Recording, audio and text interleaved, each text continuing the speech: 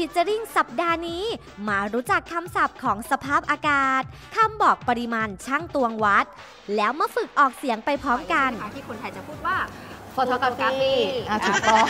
เม้าท์แบบไม่มีหยุดกับอาจารย์ฮันนี่และโอลิฟ ห้ามพลาด จันทร์นี้3ทุ่มถึง3ทุ่มครึ่ง ทางช่องบล็อกเอทูวิชั่น54 และ 70